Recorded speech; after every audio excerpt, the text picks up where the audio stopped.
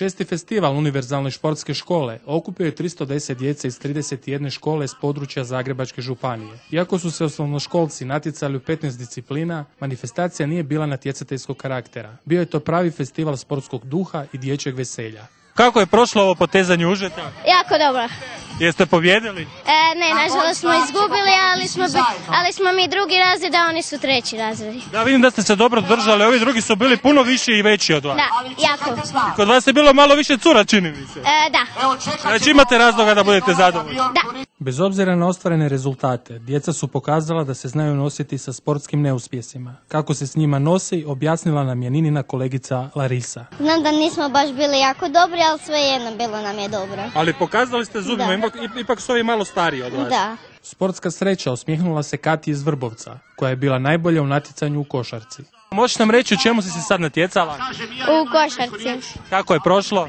E, super. I čujem da si pobjedila, jel? Da, Koliko koševa si zabila? šest. Nekima od njih ovo nije bio prvi nastup na festivalu. Što ste sad radili? E, dizali smo padobran, spuštali ga. Da mi reci, je li bilo naporno? Da. Kako ti se sviđa danas ovdje, ovo sve organizacija i ovo puno djece i sve? Jako dobro. Jel si prvi put na ovakvom natjecanju? Ne, drugi.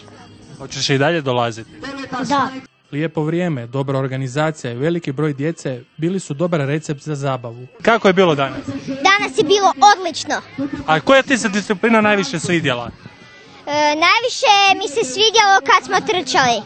Jesi bio najbrži? E, ne, Ali svejedno ti se svidjelo. svejedno. Da, super je. Svega ovoga ne bi bilo da nije bilo entuzijazma organizatora iz osnovne škole Ščitarjevo. To je zapravo svojevrsni rasadnik sporta jer će ti učenici sigurno se i dalje kasnije susretati na natjecanjima u petom, šestom, sedmom i osmom razredu, a velika većina tih sportaša i kasnije kada ode u srednju školu u lijepoj uspomeni im ostaje univerzalna sportska škola. Ja, možete nam samo još reći kakva je re- reakcija djece znači na ovaj program? Pa reakciju najbolje možete sami snimiti i vidjeti čim vidite da se svi smiju i da svi pokušavaju napraviti sve ono što im naše instruktorice iz škole pokazuju, to znači da smo zapravo uspjeli.